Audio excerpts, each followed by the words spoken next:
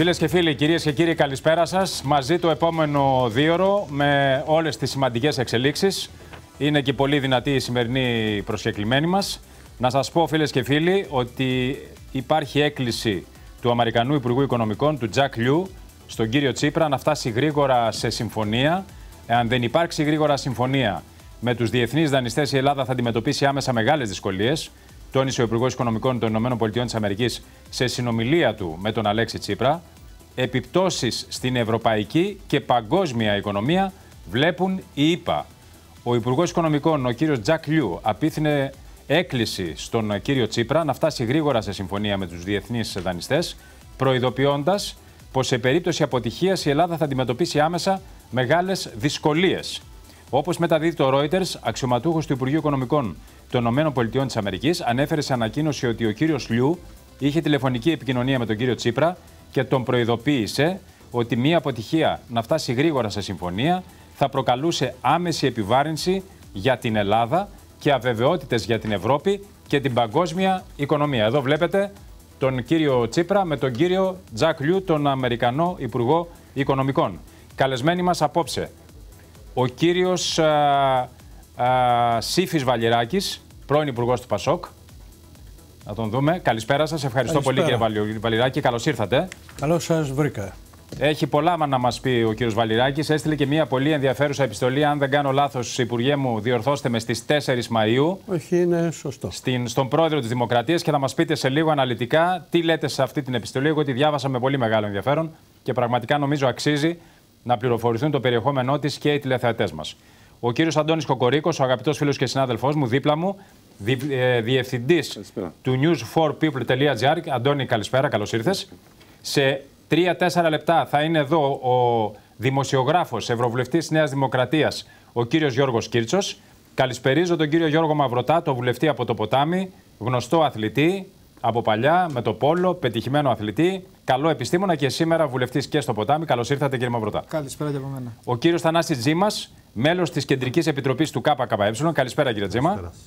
Και ο γνωστός οικονομολόγος και φίλος της εκπομπής, ο κύριος Δημήτρης Τσαγκάρης. Κύριε Τσαγκάρη, καλησπέρα, καλώς ήρθατε. Σημαντική η χτεσινή, φίλες και φίλοι, συνάντηση Τσίπρα Μέρκελ Ολάντ στη Ρήγα της Λετωνίας.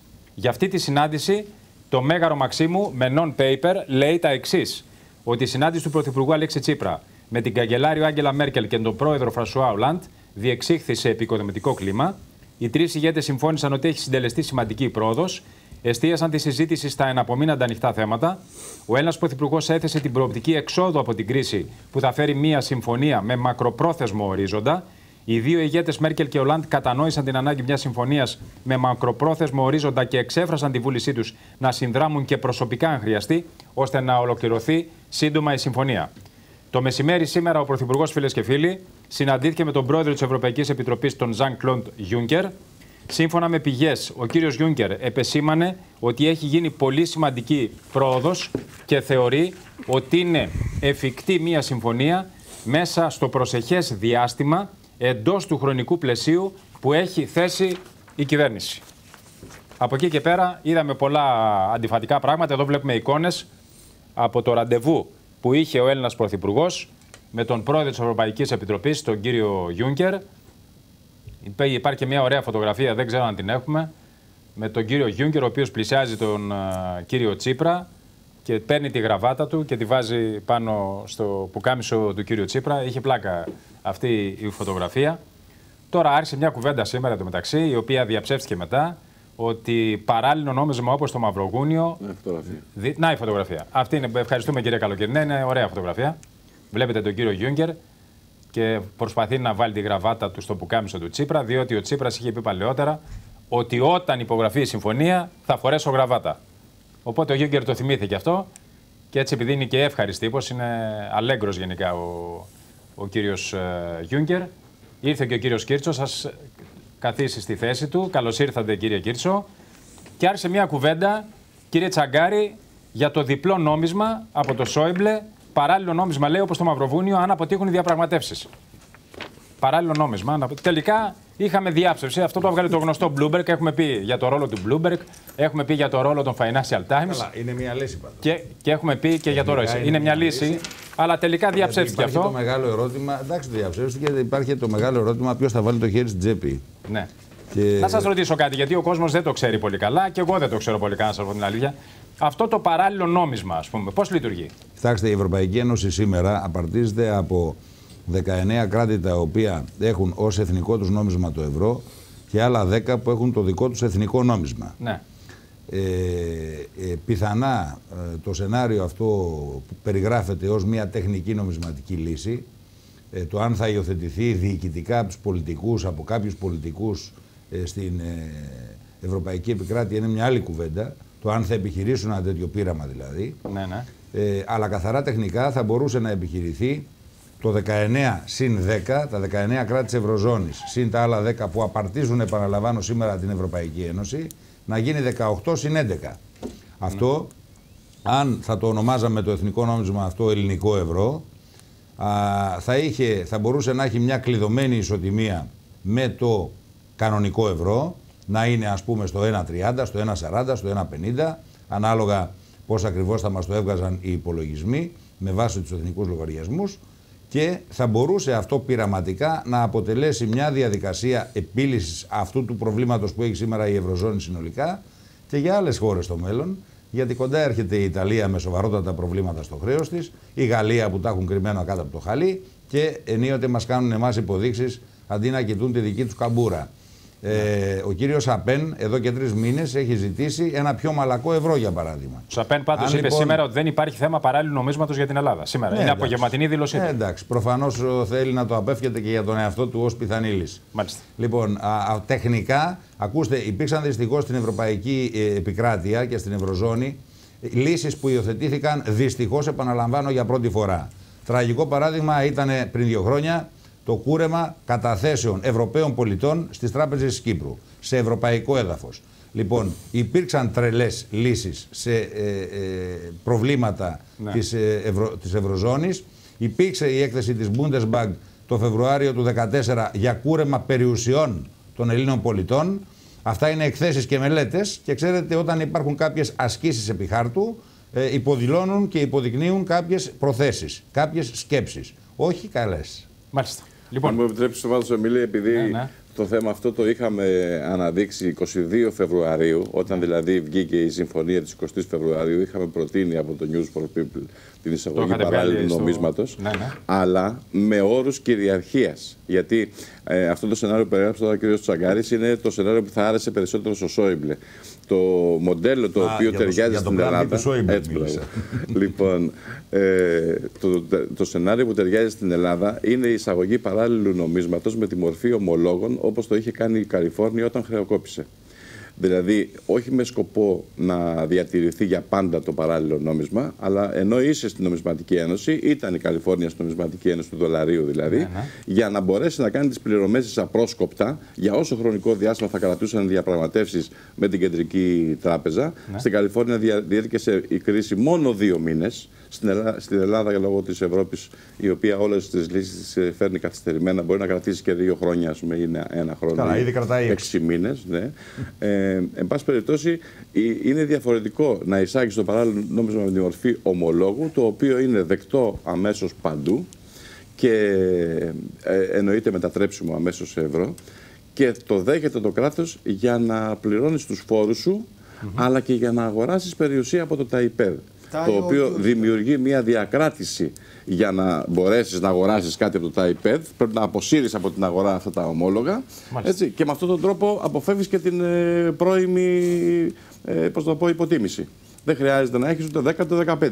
Εκτός βέβαια και αν αρχίσει και τυπώνει ομόλογα η κυβέρνηση αβέρτα κουβέρτα.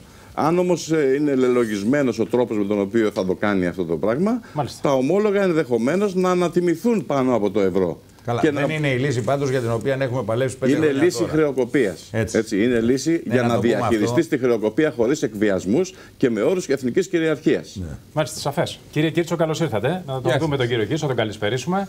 Καλησπέρα σας, καλώς ήρθατε. όλα καλά, όλα καλά. Έχουμε πολλά ενδιαφέροντα θέματα σήμερα. Θέλω να πάω στον κύριο Ράκη και να το ρωτήσω τι αίσθηση έχετε, Υπουργέ, για την ε, πορεία της διαπραγμάτευσης. Είμαστε μία στην πολύ ζέστη, υδρώνουμε, και από την άλλη μπαίνουμε στην κατάψυση στο ψυγείο. Δηλαδή έχουμε λίγο ψηλοσαλτάρι όλοι οι Έλληνες, διότι καθημερινά βομβαρδιζόμαστε. Καλά τα νέα, χαμογελάμε. Μετά από μια ώρα έρχονται άλλες ειδήσεις, κακά τα νέα. Πέφτουμε στην κατάθλιψη. Εσείς είστε πολύ έμπειρος. Γνωρίζετε καλά την οικονομία, γνωρίζετε τα οικονομικά, τις διεθνείς σχέσεις, γνωρίζετε τους Ευρωπαίους. Τι άποψη έχετε σχηματίσει, πώς πάει το Ε, πράγμα; Νομίζω είπατε το κλειδί. Ε, οι Ευρωπαίοι είναι το κλειδί. Και θα Ναι. πρέπει εμείς να αντιληφθούμε ότι θα πρέπει να ακολουθήσουμε τους κανόνες και τις διαδικασίες που βάζουν. Αν δεν τους ακολουθήσουμε θα έχουμε με- και έχουμε ήδη μεγάλο πρόβλημα. Α, Θεωρώ ότι ήδη έχουμε χάσει πολύτιμο χρόνο για μας. Ε, Εξαντληθήκαμε από μεριάς ρευστότητας, ξύσαμε και τον πάτο εκεί και είμαστε τώρα πια α, πέραν ενδεχομένως και των ορίων μας. Δεν ξέρω, ο χρόνος λειτουργεί πολύ άσχημα. Δεν είναι φιλικός ο χρόνος. Και δεν μπορούμε να α, περιμένουμε μια συμφωνία ή να ευχόμαστε μια συμφωνία. Αυτή τη στιγμή το μεγαλύτερο πρόβλημα λέγεται αβεβαιότητα. Ακούσαμε τον Υπουργό Οικονομικών των Ηνωμένων Πολιτειών. Ναι, ναι. Υπάρχουν επιπτώσεις και θα υπάρχουν επιπτώσεις παγκόσμια λόγω της αβεβαιότητας και της αστάθειας που υπάρχει και παγκόσμια και ευρωπαϊκά και εθνικά. Άρα ζητούμε βεβαιότητες. Να κλείσει αυτή η συμφωνία το ταχύτερο δυνατόν. Ο Πώς να χρόνος κλείσει όμως, πώς να δεν κλείσει; υπάρχει- να κλείσει. Με υποχωρήσεις πολλές, Να διότι αυτοί κλει- ζητάνε ε, ε, θα την πρέπει- Άρτα και τα Γιάννη να ζητάνε. Θα πρέπει, οι, οι εταίροι να δανειστές. γίνει, θα Δηλαδή, πρέπει να γίνει συμβιβασμός. Εμείς να γίνει δεν συμβασμό, έχουμε αλλά άλλα- πόσο, πόσο να υποχωρήσουμε δεν εμείς; έχουμε άλλα περιθώρια. Μάλιστα. Εσείς τι πιστεύετε, κύριε Υπουργέ; Πιστεύω Δηλαδή, ότι να χάσαμε κάνουμε πολλές χρόνο. υποχωρήσεις, δηλαδή ό,τι Πιστεύω ζητάνε να ότι λέμε ναι. χάσαμε χρόνο Ναι, και χάσαμε ότι χρόνο, ναι, είναι αλήθεια. είναι το ένα και το δεύτερο ότι δεν διαπραγματευτήκαμε όπως έπρεπε να διαπραγματευτούμε. Αυτό είναι, είναι προφανές. Μάλιστα. Τώρα στο, στο, στο τελευταίο στάδιο θα πρέπει να δούμε τι μπορούμε να πετύχουμε και πάντως να κλείσουμε συμφωνία. Δεν μπορεί να θέλουν όλοι να κλειστεί η συμφωνία και εμείς που θα έχουμε το μεγαλύτερο κόστος να σφύριζουμε κλέφτικα. Μάλιστα. Θα πρέπει πρώτα να κλειστεί η συμφωνία και από εκεί και πέρα θα πρέπει να δούμε πού βρισκόμαστε και πού μπορούμε να, να πάμε. Σας το λέω ε, και επιμένω γι' αυτό. Θέλω μια έτσι ωραία, ξεκάθαρη, καθαρή απάντηση για όλους να το καταλάβω πώς το σκέφτεστε κι εσείς. Η, γρ- η κυβέρνηση βάζει κόκκινες γραμμές σε ορισμένα θέματα. Μα οι κόκκινες Δηλαδή- γραμμές δεν δίνουν ρευστότητα στην οικονομία.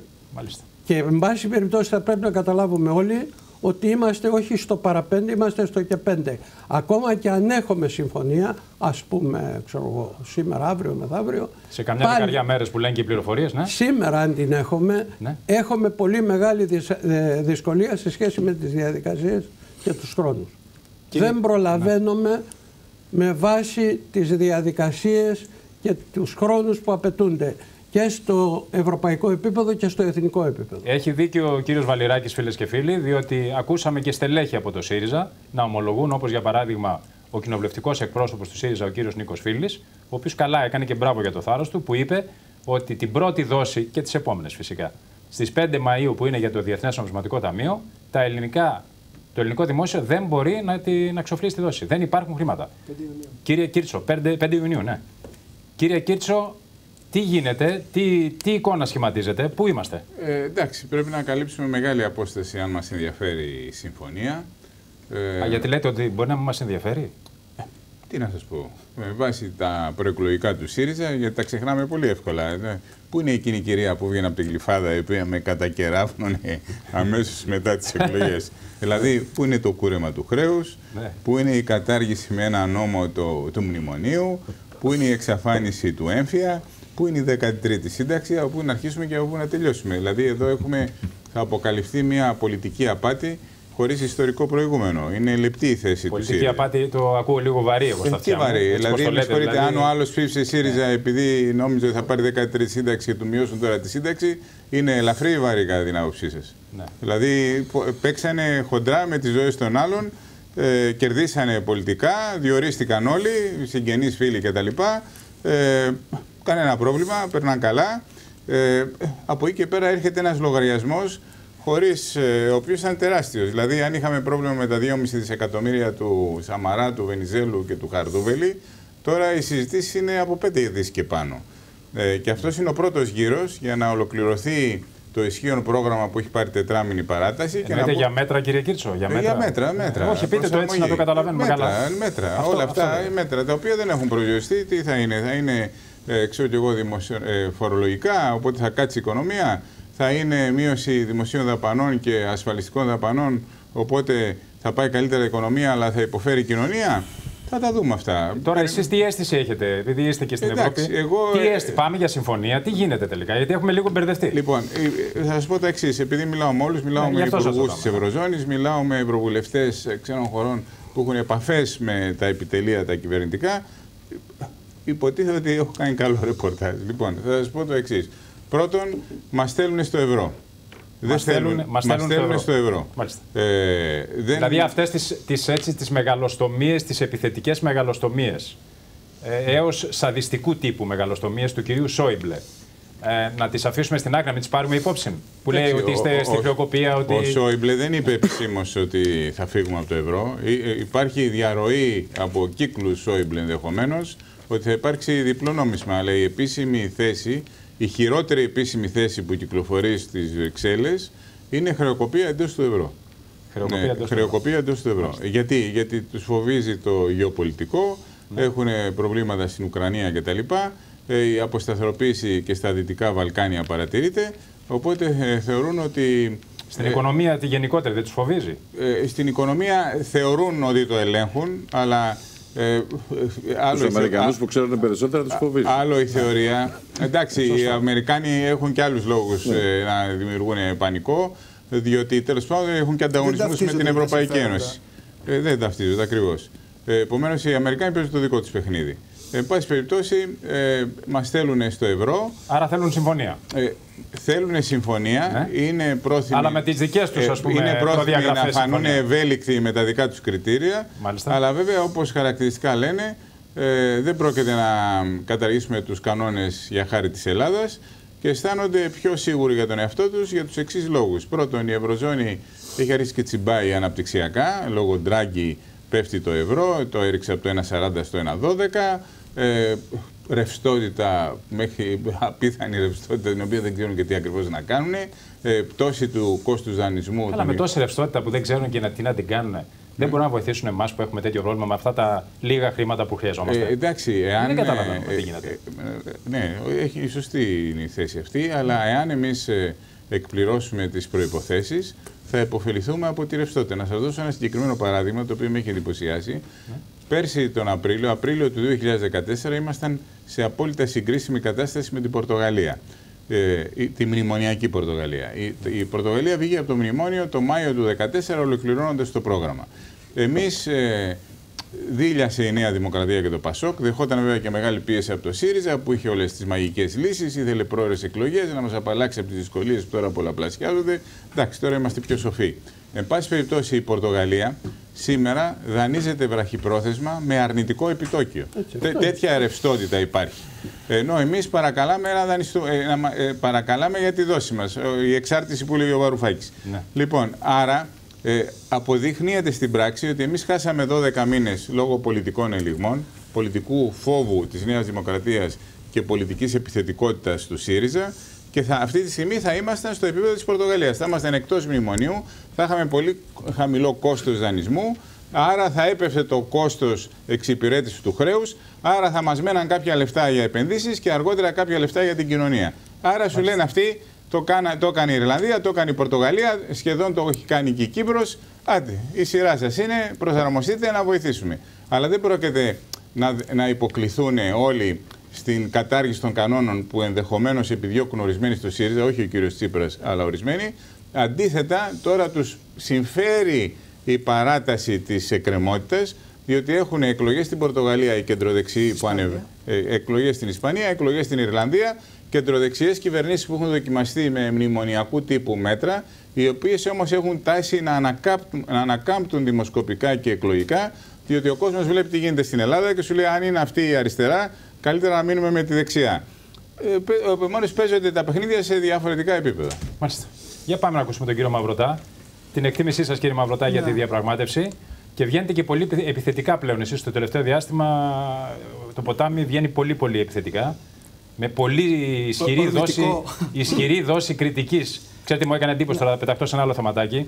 Αλλά με απογοήτευση άκουσα τον πρόεδρο, πρόεδρο τον λέτε, τον ε, Σταύρο, τον, τον συνάδελφό μας, τον επικεφαλής του Βοταμιού, να χαρακτηρίζει την πρόεδρο της Βουλής Γκεστάπο. Δηλαδή, ε, και επειδή ξέρω ότι είναι πολιτισμένος ε, άνθρωπος ο Θεοδωράκης. Ναι, δεν, ανεξαρτή... δεν τη χαρακτηρίζει ως Γκεστάπο. Ε, αυτό είπε. Είπε ε, περιφραστικά ότι η συμπεριφορά. Ναι. Ε, τη χαρακτήρισε παρο... Γκεστάπο και το Πασόκ είπε, έβγαλε επίσημη ανακοίνωση, κύριε Βαλιράκη, αγαπητέ Υπουργέ, και είπε ότι η Κωνσταντοπούλου έχει ξεφύγει. Ναι. Έχει επίσημη ανακοίνωση κόμματος να λέει για την πρόεδρο της Βουλής έχει ξεφύγει. Αυτή... Λοιπόν, και, ναι. και, ο, και ο Σταύρος, ο φίλος μου, Είπε, είπε για γκεστάπο, ας πούμε. Χρησιμοποιήσει τη λέξη γκεστάπο για την κυρία ναι, Κωνσταντοπούλου. Τη λέξη γκεστάπο ότι. Και μάλιστα ένας βουλευτής συμπεριφορά... σας, τον οποίο τον συμπαθώ κιόλας πολύ, ο κύριο Φωτήλα. Και τον έχω φιλοξενήσει. Ο διευθυντή ναι. ε, ε, παρομοίας έτσι. Τι, που ο κύριος Φωτήλα τη χαρακτήρισε σήμερα το πρωί, βγήκε στην εκπομπή του, του Μέγκα, αν δεν κάνω λάθος, το πρωί. Και την είπε Κατίνα Τάδε. Την κυρία Κωνσταντοπούλου. Σήμερα το πρωί, ο κύριος Μαυρωτά. Ο κύριος ε, Φωτήλας ότι είχε συμπεριφορά Κατή... νεόπλου τη ε, νεόπλου της Κατίνας. Τώρα αυτή, δηλαδή, αν η πολιτική, η πολιτική αρχηγοί, οι βουλευτές, το πολιτικό προσωπικό της χώρας εκφράζεται έτσι για ένα θεσμό, για την, για την πρόεδρο της Βουλής, ο κόσμος πώς να εκφράζεται, τι παράδειγμα δηλαδή δίνει το πολιτικό σύστημα και οι αρχηγοί των κομμάτων με αυτή τη φρασιολογία που εκτοξεύουν. Ναι. Να Εσάς, επειδή ξέρω ότι είστε πολύ πολιτισμένος άνθρωπος και χαμηλών τόνων σας παρακολουθώ με ενδιαφέρον, συμφωνείτε με τέτοια συμπεριφορά δημόσια; Ε, δεν συμφωνώ καταρχήν με την ε, συμπεριφορά της ε, κυρίας Κωνσταντοπούλου στο συγκεκριμένο περιστατικό. Τώρα, αν οι ναι. χαρακτηρισμοί ήταν υπερβολικοί, νομίζω ότι οποιοδήποτε είδε αυτόν τον εξευτελισμό ενός ενός αξιωματικού της αστυνομίας ε, υπό το βλέμμα των καμερών και με την ε, πρόεδρο της Βουλής να ε, επεμβαίνει σε πράγματα που δεν ξέρω και αν ήταν της ε, αρμοδιότητάς της. Ε, αυτό νομίζω ξένησε πολύ κόσμο και γι' αυτό ίσως υπόθηκαν και, και κάποιοι τέτοιοι χαρακτηρισμοί. Πάντως δεν είναι. Νομίζω ότι και η ίδια η πρόεδρος της Βουλής, όταν έχει πει μέσα στη Βουλή ε, συνάδελφό μας ότι ε, αυτοπροσδιορίζεστε ως τείχος ή σε άλλη περίπτωση ότι θα προσέξω τι βάζουν στο κηλικείο, τι σερβίρουν στο κηλικείο μέσα στη Βουλή, νομίζω ότι και εκείνη δίνει με τη σειρά της δικαιώματα με αυτές τις ηρωνίες που υπάρχουν. Συμφωνώ όμως ότι η, Βουλή, ο πρόεδρος, η πρόεδρος Βουλής είναι ένας θεσμός και θα πρέπει και εκείνη να σέβεται και το ρόλο της και όλοι να σεβόμαστε και το θεσμό αυτό. Από την άλλη μεριά υπάρχει και το άλλο θέμα ότι ε, με τις ενέργειές της κατά τη γνώμη μας ουσιαστικά ε, θέλει να αυτο, έχει μια, σαν να έχει μια δική της ατζέντα να αυτοπροσδιοριστεί σαν ένας ξεχωριστός πόλος στο πολιτικό σύστημα. Ξεφεύγει λίγο από την ουδετερότητα ενός Προέδρου της Βουλής και αυτό το λέω με τη συμπεριφορά της μέσα στην, ε, στη Βουλή, δηλαδή τις θέσεις που παίρνει ότι πάντα θέλει να απαντάει και όχι να παίζει το ρόλο του διετή, αλλά να είναι ο πρωταγωνιστής των συνεδριάσεων. Ε, και από την άλλη μεριά νομίζω ότι ε, προσθέτει και κάποιες δυσκολίες στο έργο της κυβέρνησης, δηλαδή με κάποια πράγματα τα οποία κάνει, για παράδειγμα, αυτά που ακούγονται σχετικά με θα ερχόντουσαν για ακρόαση στην Επιτροπή Μορφωτικών, ε, στην Επιτροπή Θεσμών και Διαφάνειας ε, το Προεδρείο της ΕΡΤ και υπήρξε εκεί πέρα ε, ναι. κάποια εμπλοκή. Ε, διάβαζα σήμερα το απόγευμα ότι θέλει να φέρει ένα νομοσχέδιο που είχε καταθέσει το, το κουκουέ. Το έχω εδώ, θα το κουβεντιάσουμε ναι, τώρα και θα. Δηλαδή κάποια πράγματα που ίσως είναι και λίγο προσθέτουν δυσκολίες στο κυβερνητικό έργο. Να πω όμως κάτι. Πάντως, ξέρετε, εμένα μου δίνει την εντύπωση ότι είναι πολύ τυπική στα καθήκοντά της. Και πολύ εργατική. Και πολύ εργατική και ναι. πάρα πολύ τυπική. Και σε, αυτό, το, σε αυτό το κομμάτι. Ξέρετε, και μια λαζονία. Κάνει και, κάνει και καλά. Αν είναι τυπική, κάνει και καλά. Και εργατική. Αυτό πρέπει να το παραδεχτούμε. Λοιπόν, να, πω κάτι όμως, να πω κάτι και για τη Ρήγα που με ρωτήσατε στην αρχή έτσι, για τη ναι, ναι. διαπραγμάτευση. Ε, νομίζω ότι η κυβέρνηση πήγαινε στη Ρήγα για να αποσπάσει κάποια έτσι φαινόταν ουσιαστικά από την αρχή κάποια καλά λόγια, κάποια υπόσχεση για πολιτική λύση, κάτι το οποίο ε, δεν ευωδόθηκε μετά από τη συνάντηση με Μέρκελ και Ολάντ από ότι, ε, που έγινε χθες το βράδυ. Ε, παραπέμψανε στα, στους ε, θεσμούς, δηλαδή στο Brussels Group, το Διεθνές Νομισματικό Ταμείο δεν φεύγει από τη μέση όπως ίσως θα θέλαμε εμείς, και αυτό φάνηκε και από το τηλεφώνημα με τον Τζακ Λιού, τον Αμερικάνο. Ε, το θέμα είναι ότι θα πρέπει να, κλείσουμε αυτό το, να κλείσει αυτό το κεφάλαιο της καταρχήν της πρώτης ε, γιατί νομίζω ότι όσο καθυστερεί η λύση τόσο θα χειροτερεύει για την ελληνική οικονομία. Γιατί το λέμε για εφεσιακά μέτρα ότι δεν θέλουμε να πάρουμε εφεσιακά μέτρα, δεν θέλουμε εφεσιακά μέτρα, ΦΠΑ να μην αυξηθεί και το ένα και το άλλο, αλλά το χειρότερο εφεσιακό μέτρο είναι αυτή η παρατεταμένη αβεβαιότητα που είπε και ο κύριος Βαλιράκης προηγουμένως, που εδώ και τέσσερις μήνες ε, έχει νεκρώσει την οικονομία, δεν κινείται τίποτα, με αποτέλεσμα όλοι να περιμένουν και η οικονομία να φθήνει, να έχουμε 60 επιχειρήσεις να κλείνουν την ημέρα με 630 άνεργους, πρόσφατα στοιχεία αυτά από την Συνομοσπονδία των ε, Επιχειρήσεων. Και πρέπει κάτι να γίνει για να περάσουμε όλοι μαζί, και το λέω αυτό το όλοι μαζί, στο επόμενο στάδιο που θα είναι και το πιο δύσκολο. Γιατί Μάλιστα. άλλο η συμφωνία και άλλο η υλοποίησή της. Έτσι. Είναι και εκεί που θα σημασία. Η Λαγκάρτη είπε: Δεν θέλουμε γρήγορη και βρώμικη δουλειά για την Ελλάδα. Η συμφωνία λέει δεν πρέπει να γίνει βιαστικά, λέει η επικεφαλής του Διεθνούς Νομισματικού Ταμείου. Ο κύριος Πιτέλα. Ο κύριος Πιτέλα είναι επικεφαλής της ομάδας Ευρωπαίων Σοσιαλιστών Δημοκρατών, Τζάνι Πιτέλα. Έδωσε μία συνέντευξη σήμερα, είχε έρθει στην Αθήνα, είδε διάφορους. Έδωσε συνέντευξη τύπου στα γραφεία του Ευρωπαϊκού Κοινοβουλίου στην Αθήνα και είπε ότι η συμφωνία θα γίνει μέσα στην επόμενη εβδομάδα. Ο Αντώνης ο Σαμαράς τώρα, ο πρόεδρος της Νέας Δημοκρατίας, δεν βλέπει συμφωνία στον ορίζοντα. Ίσως είναι από τους πολύ λίγους που δεν βλέπουν συμφωνία ε, στον ορίζοντα. Και από την άλλη, ο Υπουργός και μεγάλος τέλοχος, ιστορικός τέλοχος της αριστεράς, ο κύριος ε, Λαφαζάνης, είπε ότι η κυβέρνηση θα δεχθεί μόνο μία συμφωνία συμβατή με το πρόγραμμά της. Είπε δηλαδή δεν θέλουμε να παραδοθούμε. Και θέλω κύριε Τζίμα το σχόλιο σας για την πορεία της, ε, των διαπραγματεύσεων. Εσείς κάνετε λόγο διαρκώς, παρακολουθώ τα τελευταία 24 ώρες ανακοινώσεις που βγάζει το κόμμα σας, κάνετε λόγο ότι πάμε full για τρίτο μνημόνιο. Λέτε συμφωνία, παύλα μνημόνιο. Κοιτάξτε να δείτε, από ό,τι φαίνεται η κυβέρνηση ουδεύει σε μια νέα συμφωνία. Αυτό δείχνουν όλα τα στοιχεία. Αυτό επιδιώκει και η ίδια. Θα μας φέρει νέο μνημόνιο, λέτε ο Τσίπρας και ο... πολλές φορές ο ναι. Πρωθυπουργός ότι επιδιώκει την κατάληξη μιας συμφωνία. Από ό,τι φαίνεται και όλα τα υπόλοιπα κόμματα συμφωνούν. Ναι. Άρα, θα, μείνει, αυτή θα μείνει ο ΣΥΡΙΖΑ, αν φέρει, αν φέρει συμφωνία και νέο μνημόνιο, πιστεύετε ότι θα μείνει όπως είναι σήμερα ο ΣΥΡΙΖΑ; Κοιτάξτε, να, θα, θα να κάνω ένα σχόλιο πριν. Από αυτή τη σκοπιά έχει σημασία τι φέρνει αυτή η συμφωνία. Κατά τη γνώμη μα, αυτή η συμφωνία φέρνει de facto δύο πράγματα. Το πρώτο πράγμα είναι η de facto κατοχύρωση των περιβόητων έκτακτων μνημονιακών μέτρων, μνημόνιο 1, μνημόνιο 2, μεσοπρόθεσμα, έκτακτων που ψηφίστηκαν ή πέρασαν μέσα από διάφορες πράξεις νομοθετικού περιεχομένου από την Ελληνική Βουλή όλο το προηγούμενο διάστημα. Είναι νόμοι τους οποίους και οι τηλεθεατές μας αυτή τη στιγμή τους έχουν μάθει, ακόμα και αν δεν τους ξέρουν, δεν τους έχουν διαβάσει, τους ζουν καθημερινά. Αυτά λοιπόν μένουν. Είναι ένα το κρατούμενο. Και το δεύτερο είναι το εξής, ότι πρόκειται για μια νέα συμφωνία. Θέλετε να την πείτε μνημόνιο, θέλετε να την πείτε αλλιώς; Δεν έχει σημασία το όνομα. Σημασία έχει το περιεχόμενό της. Αυτό που φαίνεται, αυτό ακούγεται. Εμείς δεν είμαστε και δεν ξέρουμε. Τα έχουν πει όμως τα ίδια τα στελέχη της κυβέρνησης, ο Πρωθυπουργός, Ευρωπαίοι αξιωματούχοι. Είναι ότι αυτή η συμφωνία περι, ε, περιλαμβάνει νέο πακέτο πολλών δις, τα οποία για μία ακόμα φορά θα φορτωθεί στην πλάτη του ο ελληνικός λαός. Και από αυτή τη σκοπιά είναι μια νέα συμφωνία σκληρή που επιβεβαιώνει ότι και η Ευρωπαϊκή Ένωση δεν αλλάζει. Όχι μόνο δεν έμαθε πεντοζάλι, αλλά συνεχίζει στον ίδιο ντορό να χορεύει τους εργαζόμενους στο τάψε. Και είναι, πώς να το πούμε, δεν θα λυπηθούμε το ΣΥΡΙΖΑ, ίσα ίσα τον καταγγείλουμε ε, για το άγχος που έχει να ε, δει πώς θα κινηθεί αυτό το διάστημα. Βρίσκεται μπροστά στην υπογραφή αυτής της συμφωνίας, αλλά έλεγε υπο, υποσχόταν ότι θα φτιάξει ομελέτα χωρίς να σπάσει τα αυγά. Αυτά έλεγε προεκλογικά. Και από την επόμενη των εκλογών, ένα-ένα αποσύρονται όλα αυτά τα οποία υποσχόταν στον ελληνικό λαό. Αυτά ψίχουλα δηλαδή που υποσχόταν, όπως λέγαμε και τότε, και που από ό,τι φαίνεται και αυτά ήταν λόγια του αέρα, σχήμα λόγου, ναι. όπως είπε η κυρία Κωνσταντοπούλου που συζητάγαμε προηγουμένως. Άρα, κατά τη γνώμη μας, από αυτή τη σκοπιά χρειάζεται και ο κόσμος, οι εργαζόμενοι, να πάρουν τα μέτρα τους ε, να αναρωτηθούν το εξής. Η τρίτη συμφωνία θα είναι μια συμφωνία που θα τον βγάλει από την καθημερινή του χρεοκοπία; Ή είναι μια συμφωνία που ιδιαίτερα τα πιο φτωχά τμήματα θα τα βυθίσει ακόμα περισσότερο σε μια χρεοκοπία η οποία περνάει πλέον, ε, πώς να το πούμε, έχει φέρει πάρα πολλές οικογένειες στα όρια τους; Αυτό είναι το βασικό ερώτημα. Πρέπει να απασχολήσει τους τηλεθεατές μας και τον υπόλοιπο κόσμο που προβληματίζεται γύρω από αυτά τα ζητήματα. Και από αυτή τη σκοπιά να βάλει ο ίδιος ε, πλώρη, να το πω έτσι, να διεκδικήσει αυτά που έχει χάσει όλο το προηγούμενο διάστημα. Γιατί κοιτάξτε, υπάρχει το εξής.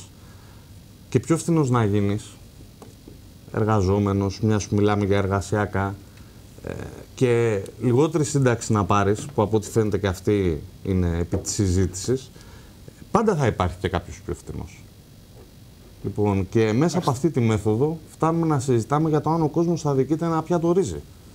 Αυτή είναι η ουσία. Μάλιστα. Αυτό αποδέχεται η κυβέρνηση, αυτό αποδέχτηκαν οι προηγούμενες κυβέρνηση και αυτό πρέπει να τελειώσει εδώ.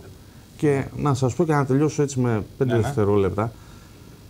Δευτερόλεπτα. Δεν έχει μεγάλη σημασία αυτό που είπε και ο κύριος Κίρτσο για, για το mail του Χαρτούβελ. Ποιο mail θα διαλέξουμε; Από ό,τι φαίνεται εδώ έχουμε δύο mail, ανεξάρτητα από τον τίτλο τους, τα οποία περιέχουν λίγο πολύ τα ίδια πράγματα. Το πληκτρολόγιο έχει κάλο κουμπί. Έχει ένα delete εκεί. Λοιπόν, ο κόσμος λοιπόν πρέπει να τα σβήσει αυτά από μπροστά του, να μην παγιδευτεί στους εκβιασμούς και στα σκοτσέζικα ντους που γίνεται και να χαράξει δρόμο για τα δικά του συμφέροντα. Μάλιστα.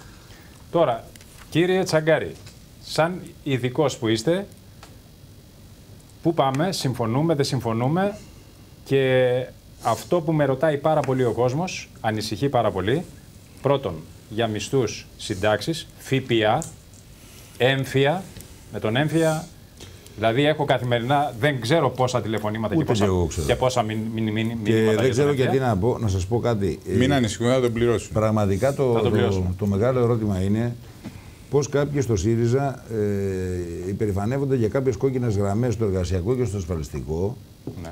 ε, και ξεχνούν να μιλήσουν για κόκκινες γραμμές είτε στη 13η σύνταξη αυτή του, του ανθρώπου των 500 ευρώ, γι' αυτόν μιλάμε, ναι. Δεν μιλάμε για κάποιον που παίρνει 2.000 ευρώ σύνταξη.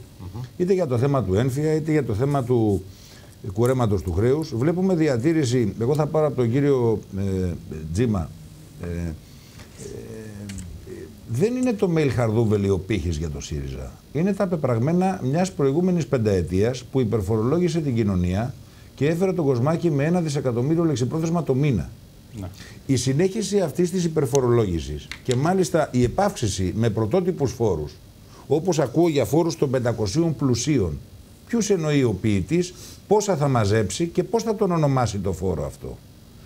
Ε, το φόρο τραπεζικών συναλλαγών, το φόρο διανυκτερεύσεων, φόρο ε, πολυτελεία στα κοσματοπολία. Και δεν θα φύγει ο Έλληνας πολίτης να πάει σε ένα κοσματοπολείο στο εξωτερικό να αγοράσει ένα ρολόι και να ξανάρθει. Τι θέλουμε, να κλείσουμε τα ελληνικά; Δεν κλείνεις τα σύνορα τα φορολογικά σου και τα διοικητικά. Αλλά πάντως, εγώ στην εποχή δηλαδή μας, κύριε Τσαγκάρη, δεν ξέρω πολλούς Έλληνες που έχουν τη δυνατότητα να πάνε στο εξωτερικό για να αγοράσουν κύριε... ρολόι και να έρθουν πάλι πίσω. Δηλαδή... Κύριε Λιάτσο, ε, εγώ μιλάω διαδικαστικά. Ναι. Εγώ μιλάω ότι κρατιούνται μνημονιακοί φόροι όλοι αυτοί τους οποίους καταγγέλαμε μέχρι προχθές και τους επαυξάνουμε κιόλας με κάποιους άλλους ακόμη πρωτότυπους φόρους. Πρωτότυπους. Εδώ το ερώτημα λοιπόν είναι μία εναλλακτική ενός Μίλ Χαρδούβελη. Αυτό θα παρουσιάσει ο ΣΥΡΙΖΑ στην ελληνική κοινωνία ή κάποιον άλλο δρόμο; Φοβούμε ότι μπορεί να κάνει το λάθος του Σαμαρά, ο οποίος εξελέγει τον Ιούνιο του 12 για επαναδιαπραγμάτευση και πήρε αγκαλιά τα μέχρι τότε συμφωνηθέντα και προχώρησε μπροστά και φυσικά έφτασε σε αδιέξοδο. Η Ελλάδα είναι σε αδιέξοδο. Το μαγαζί είναι πτωχευμένο. Θέλει αύξηση μετρικού κεφαλαίου. Ακούω για τη συμφωνία. Για ποια συμφωνία μιλάμε, Να πάρουμε μέτρα 5 δις για να πάρουμε 4. Και σε τρεις μήνες τι θα ξαναλέμε από αυτό το παράθυρο; Ναι. Δηλαδή το θέμα, το πρόβλημα το ελληνικό. Πάντως, είπε η ίδια η κυρία Λαγκάρντ. Ο Πρωθυπουργός δεν λέει κάτι τέτοιο. Δεν είπα για τον Πρωθυπουργό. Δεν λέει Εγώ βάζω προβληματισμούς όσο ακούει το πράγμα είναι απάνω σε τραπέζι. Η κυρία Λαγκάρντ βοηθάει απόψε με τη δήλωσή της όχι γρήγορα και βρώμικα.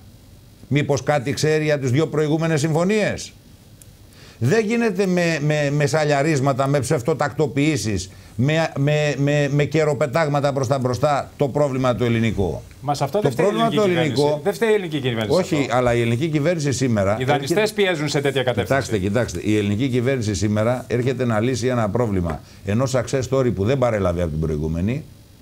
Έτσι, θα θυμίσω στο φίλο μου τον κύριο Κίτσο, πέρσι τέτοιο καιρό μοιράζαμε 500 άρικα. Ναι, ναι. Είχαμε πιστέψει ότι έχουμε πλεόνασμα. Βεβαίως ήμασταν μπροστά από τις ευρωεκλογές, θυμίζω. Όχι μόνο μοιράζαμε 500 άρικα. Όταν είχαμε, το... είχαμε συσίτια Χωρίς τελειωμό. Αφήστε τα συσίτια. Τα συσίτια εδώ είναι, δεν άλλαξαν τα συσίτια. Είχαμε αυτοκτονίες. Τα συσίτια εδώ είναι. Αυτά δεν ξεχνιόνται. Αυτά. Μα δεν άλλαξαν αυτά. Έτσι. Εδώ και λοιπόν είχαμε γενικά αυτό, έχετε πολύ δίκιο σε αυτό που, μιλάμε, είπατε, ένα αποτυχημένο εντελώς πρόγραμμα. Εγώ τώρα Αυτή το μεγάλο μου ερώτημα είναι, όταν η κυρία Λαγκάρντ απόψε. απολύτως η προηγούμενη κατάσταση. Όταν η κυρία Λαγκάρντ το καταγγέλει, καταγγέλει λύσεις που έχουν δοθεί μέχρι σήμερα για τη χώρα ως γρήγορες και βρώμικες, θέλω να μα να ακούσω τι εννοεί. Ναι, ναι. Τι έχει υπογράψει. Καλή δηλαδή; ανάγνωση κάνετε για το ίδιο. Η ερώτησή μου είναι λοιπόν, όχι να υπάρξει. Βεβαίως και πρέπει να υπάρξει μια συμφωνία. Ξέρετε ποιος είναι ο μόνος λόγος που πρέπει να υπάρξει μια συμφωνία αύριο το πρωί; Για να τσουλήσει να βγει από το αδιέξοδο, διότι εδώ κινδυνεύει με κανένα μπραφ την επόμενη και τη μεθεπόμενη εβδομάδα, μέχρι να σκεφτεί τι θα κάνει με τη μεγάλη συμφωνία που ο ίδιος ο Πρωθυπουργός έχει πει, η οποία είναι και το τελικό ζητούμενο για την ελληνική κοινωνία. Μάλιστα. Εάν δεν υπάρξουν παραμετρικές αλλαγές λοιπόν στη συζήτηση, και κλείνω με αυτό, που να περιλαμβάνουν ευρωπαϊκές προδιαγραφές, δεν υπάρχει σωτηρία. Θα ξαναλέμε τα ίδια σε δύο μήνες. Θα πάρουμε τώρα μέτρα 5 δις, που ούτε και αυτά θα εφαρμοστούν όπως δεν εφαρμόστηκαν τα προηγούμενα. Χιλιά προαπαιτούμενα πίσω ήταν η πέμπτη αξιολόγηση, κύριε Κίρτσο. 2 δισεκατομμύρια δημοσιονομικό κενό, 14 χρηματοδοτικό. Ε, ναι, Αυτή ο, είναι η, η απεικόνηση. Όπως έλεγε πριν τις εκλογές ο ΣΥΡΙΖΑ, δεν είμαστε όλοι ίδιοι. Δηλαδή, τα μέτρα Χαρδούελη είναι πολύ πιο ήπια από τα μέτρα που πρόκειται να εφαρμοστούν. Και αν δεν σας άρεσε η κατάσταση της οικονομίας το Δεκέμβριο του 2014, υποθέτω ότι δεν σας αρέσει ακόμα περισσότερο η κατάσταση της οικονομίας σήμερα. Προφανέστατα. Επομένως έχουμε αρχίσει να έχουμε τα πρώτα μέτρα σύγκρισης. Και μόλις εμφανιστούν τα μέτρα, οι φίλοι μας στο ΣΥΡΙΖΑ θα σταματήσουν να έχουν αυτή την αλαζονία γιατί συγκρίνουν τη δική τους θεωρία με τη δική μας πράξη, γιατί θα αρχίσουν να, να συγκρίνουν οι δικές τους πράξεις με τις δικές μας πράξεις. Και εγώ δέχομαι ότι η κυβέρνηση Σαμαρά ήταν σε επίπεδα μετριότητες. Και θα σας θυμίσω ότι όταν οι άλλοι λέγανε για πρωτογενές πλεόνασμα, εγώ εξηγούσα ότι δεν υπάρχει είναι, πλεόνασμα. Γιώργο λοιπόν, μου, εσύ ξεχωρίζεις και το γνωρίζει. Εντάξει, δεν ξέρω τι κάνω, αλλά εν πάση περιπτώσει, επειδή είμαστε παρατηρητές παλιοί και τέλος πάντων καταλαβαίνουμε πέντε πράγματα, ε, η, η κατάσταση αυτή τη στιγμή είναι τι λέει η Νέα Δημοκρατία σήμερα, ε; Τι, λέει η Νέα Δημοκρατία. Αφήστε τη Νέα Δημοκρατία τώρα. αφήστε, αφήστε, αφήστε. Τι λέει η Νέα Δημοκρατία; Και θέλω να δω και τον κύριο Κοκορίκο και τον κύριο Βαλιράκη στο, στο τριπλό. Τι λέει η Νέα Δημοκρατία, φίλες και φίλοι, σήμερα; Τι λέει; Έχουν πονηρέψει αυτή της Νέας Δημοκρατίας στο 15,5%. Βγαίνει ο Κυριάκος Μητσοτάκης, για παράδειγμα, και λέει καλύτερα μία μέτρια συμφωνία ε, παρά καθόλου συμφωνία. Αυτό Καλύτερα μία μέτρια συμφωνία, το λέει και ο κύριος Κίρτσος. Και λέει παρά... συμφωνία με όρους, όχι με φόρου. Δηλαδή συμφωνία σε ό,τι θέλουν οι ξένοι. Ε, δεν είπαμε αυτό. Περίπου αυτό λέτε. Περίπου αυτό λέτε. Διότι όταν σου λέει μία κακή συμφωνία καλύτερα από καθόλου συμφωνία, είναι περίπου αυτό το πράγμα. από την άλλη, θα την πατήσει, κύριε Κοκορίκο, ο ΣΥΡΙΖΑ, εάν πάει σε μία μέτρια συμφωνία, εάν κάνει υποχώρηση σε πάρα πολλά σημεία. Και θέλω να σας ρωτήσω, επειδή το ξέρετε το ρεπορτάζ καλά, υπάρχει εσωκομματική αντιπολίτευση αυτή τη στιγμή στο ΣΥΡΙΖΑ; Και αν υπάρχει εσωκομματική αντιπολίτευση στο ΣΥΡΙΖΑ, μέχρι ποιο βαθμό θα το τραβήξει το σκηνή στην περίπτωση που διαφωνούν με το πλαίσιο της συμφωνίας που ενδεχομένως να θέλει να κάνει το μαξίμου. Το πρόβλημα που υπάρχει και είναι ένα ψευδές δίλημα αυτό το να, το να συγκρίνουμε δηλαδή το ΣΥΡΙΖΑ και το τι θα πετύχει με το ναι. τι έκανε ο Σαμαράς και τι πέτυχε ή σε τι απέτυχε. Ναι. Δεν είναι το ίδιο πράγμα. Ο ΣΥΡΙΖΑ έχει πάρει άλλη λαϊκή εντολή. Όφιλε να εκτελέσει τη λαϊκή εντολή που πήρε. Όχι να έρθει και να μας πει ότι εγώ τα έκανα λίγο καλύτερα ή λίγο χειρότερα από το Σαμαρά. Ο Σαμαράς έκανε κολοτούμπα. Και αυτός είχε πάρει άλλη εντολή το 12 και την ξέχασε και πήγε και εφάρμοσε την εντολή των δανειστών. Εδώ είναι το πρόβλημα και ε, γι' αυτό λέω ότι είναι λάθος η σύγκριση. Ε, γιατί συμφέρει αυτή η σύγκριση φυσικά το χαμένο. Τον χαμένο των εκλογών. Αυτό που έχει καταδικαστεί από το, από το λαό. Το να συγκρίνουμε δηλαδή το Σαμαρά με το, με το Τζίπρα. Και φυσικά είναι εντελώς λάθος και η σύγκριση, την οποία την προβάλλει η Νέα Δημοκρατία, την άκουσα τώρα και από τον φίλο μου τον Κίρτσο με την Πορτογαλία, την Ιρλανδία που βγήκαν από το μνημόνιο. Ναι. Γιατί αυτές οι χώρες, γιατί είναι εντελώς λάθος, για το λόγο ότι αυτές οι χώρες έχουν διπλάσιο ποσοστό εξαγωγών ως ποσοστό του ΑΕΠ σε σύγκριση με την Ελλάδα. Επομένως, για αυτές υπήρχε μια λύση, η οποία εδώ δεν υπάρχει. Ε, Χρειάζεται πρόγραμμα. Ακριβώς. Επανα το λένε, προγραμματισμού της παραγωγής για να μπορέσει να πάει. Ε, κύριε Κοκορή, τώρα, τώρα ναι. μπαίνουμε σε κουβέντα. Τώρα μπαίνουμε σε κουβέντα, αλλά θέλω, θέλω να μας εξηγήσει ο κύριος κύριε Κοκορίκο, επιτρέψτε μου. Ναι. Εγώ σας ρωτάω κάτι πολύ συγκεκριμένο, το οποίο νομίζω ότι έχει μια μικρή αξία.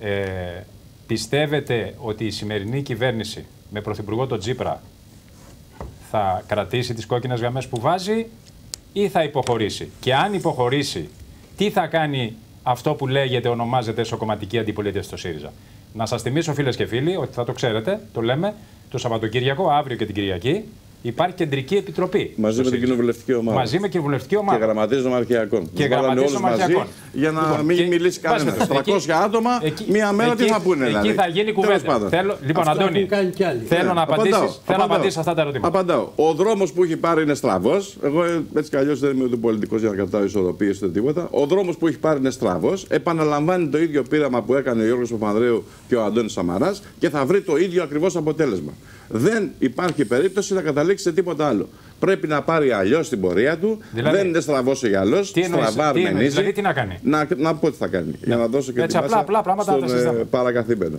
Ναι. Ή, να ξεκινήσει από την αρχή. Να πει ότι έκανα μέχρι τώρα ήταν ευλακίε. Συγγνώμη, λάθος. Ξεκινάω από την αρχή. Δηλαδή; Α, να φτιάξει ένα σχέδιο, να μαζέψει τους ανθρώπους που υπάρχουν στην Ελλάδα και είναι σε όλα τα κόμματα και να φτιάξουν ένα σχέδιο για τη χώρα και μετά, αφού φτιάξουν το σχέδιο για τη χώρα, να βγάλουν στόχους διαπραγμάτευσης για την ανάπτυξη και για τη διαγραφή του χρέους.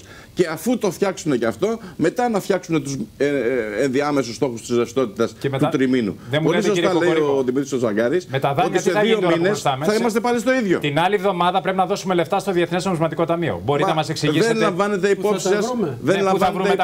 Δεν λαμβάνετε υπόψη σα. Να μην τα πληρώσουμε αυτή την άποψή σας. Ότι ε, Γιατί υπάρχει οι, αυτή η δεν λαμβάνουν υπόψη Να μην πληρώσουμε τα δάνεια. Και η Ελλάδα δεν λαμβάνει υπόψη της ότι το 1 τρίτο της κοινωνίας είναι μέσα στη θάλασσα, είναι ναυαγή. Οι υπόλοιποι που είσαστε εδώ πέρα υπερεκπροσωπείτε τα 2 τρίτα, αλλά το υπόλοιπο 1 τρίτο λοιπόν. τη κοινωνίας υποεκπροσωπείται. Ακόμα και σε αυτό το πάνελ. Πόσο μάλλον στη Βουλή, που όλοι έχουν δουλειά. Έστω με πετσοκομμένο μισθό και με πετσοκομμένο ασφαλιστικό Δηλαδή παντού υπερεκπροσωπείται τα δύο τρίτα της κοινωνίας. Το ένα τρίτο της κοινωνίας δεν εκπροσωπείται πουθενά, ούτε στις διαπραγματεύσεις. Αυτό είναι απαράδεκτο. Πρέπει κάποια πολιτική ηγεσία να εκφράσει το 1 τρίτο. Ποιο είναι το 1 τρίτο; Αυτό που δεν έχει δουλειά, αυτό που είναι απλήρωτο, ο άνεργο, αυτός που δεν έχει τίποτα. Όλα, όλα τα νομοσχέδια Απάντηση. που βγαίνουν με τα κόκκινα δάνεια και με τις 100 δόσεις κτλ. είναι για αυτούς που κάτι έχουν ακόμα να δώσουν. Θέλω απάντηση στο εξής. Να πληρώσουμε τα δάνεια τον Ιούνιο; Το Δουνουτού να το πληρώσουμε ή να μην το πληρώσουμε; Μα με συγχωρείς, ο άνεργος, το 1 τρίτο της κοινωνίας ενδιαφέρεται γι' αυτό, νομίζετε; Όχι, εγώ ρωτάω δεν ενδιαφέρεται. Ποια είναι η άποψή σου. Δεν ενδιαφέρεται. Όχι, δεν θα το πληρώσεις. Δεν θα πληρώσει. Πρώτα θα πληρώσεις τους μισθούς, θα πληρώσεις τις συντάξεις. Τι σημαίνει λοιπόν. Άλλη και αν σου περισσέψουν, τότε θα πληρώσει. Άλλη ερώτηση. Άλλη ναι, ερώτηση. δεν σημαίνει πιστοτικό γεγονός. Το έχω πει αυτό. Ενώ ψέματα λένε όλοι ότι η καθυστέρηση στην πληρωμή στους θεσμούς είναι πιστοτικό γεγονός. Δεν είναι πιστοτικό γεγονός. Πείτε την αλήθεια στον κόσμο. Πιστοτικό γεγονός είναι μονάχα αν δεν πληρώσεις ένα από τα ομόλογα που έχουν προκύψει από το PSI που είναι στα χέρια ιδιωτών. Μάλιστα. Τίποτα άλλο. Και να, και να γίνει η διαπραγμάτευση από την αρχή προς όφελος των τριών τρίτων της κοινωνίας. Δηλαδή με προοπτική, με αναδειξιακή προοπτική. Και γι' αυτό, ε, επειδή έχω παρακολουθήσει το Βαλιράκι, ας πούμε, τον τελευταίο χρονικό διάστημα πιο στενά, έτσι, δηλαδή, ο άνθρωπος στέλνει μια επιστολή στον πρόεδρο της Δημοκρατίας με αφορμή αυτό για να πει ότι πρέπει ρε παιδιά να οργανωθούμε. Σαν το γνωστό ανέκδοτο που γίνεται ένα όργιο σε ένα σπίτι με τα φώτα σβηστά και ακούγεται μια φωνή και λέει ρε παιδιά έχουμε φάει τρία και δεν έχουμε ρίξει κανένα. Ε, σας παρακαλέσω πάρα πολύ. Θα σας παρακαλέσω πολύ. Θα βάλω χ, πώς το λένε, το, ναι, το απαγορεύεται ναι. έτσι. Το είπα όσο λοιπόν, Θα βάλω χ. λοιπόν, πάμε στον κύριο Βαλιράκη. Ε, ε, ή να πάμε σε διαφημίσεις για να έχει άπλετο χρόνο ο κύριος Βαλιράκης για να μην τον διακόψουμε, διότι πράγματι... Εγώ είμαι φιλοξενούμενος. Έστειλε, έστειλε, μία, έστειλε μία εξαιρετική επιστολή, πάμε σε διαφημίσεις μάλλον, έτσι. Έστειλε μία εξαιρετική επιστολή ο Υπουργός προς τον πρόεδρο της Ελληνικής Δημοκρατίας. Κάθε φορά που στέλνω επιστολή με καλείτε εδώ. Τον κύριο Προκόπη Παυλόπουλο. Πιο συχνά. Στον κύριο Παυλόπουλο, όπου με θέμα, ο τίτλος του θέματος είναι Ανάγκη Εθνικής Συνεννόησης. Ακούγεται πολύ ωραίο. Εγώ την έχω διαβάσει αρκετές φορές αυτή την επιστολή, να την εμπεδώσω καλά. Νομίζω ότι έχει πάρα πολύ μεγάλο ενδιαφέρον. Θα σας πω μόνο την πρώτη παράγραφο, τι λέει ο κύριος Βαλιράκη. Κύριε Πρόεδρε, λέει στον κύριο Παυλόπουλο, οι θεσμοί των δανειστών μας υποβάλλουν στο μαρτύριο της σταγόνας, κλείνοντας προοδευτικά τη στρόφιγγα του οξυγόνου παροχής ρευστότητας της ελληνικής οικονομίας, ενώ γνωρίζουν πως η Ελλάδα βρίσκεται σε οριακό σημείο και οι αντοχές της εξαντλούνται νομοτελειακά πολύ σύντομα. Μια έξοδος από την Ευρωζώνη, Brexit, όσο και μια θέτηση πληρωμών default, είναι ικανά να φέρουν στα όρια τους πόρους, τις οικονομικές και κοινωνικές λειτουργίες, ακόμα και των πιο οργανωμένων κρατών. Κάτι τέτοιο θα ήταν ιδιαίτερα αποσταθεροποιητικό και για το ίδιο το κοινό νόμισμα. Και λέει πάρα πολλά άλλα, αναφέρεται σε συγκεκριμένες περιπτώσεις.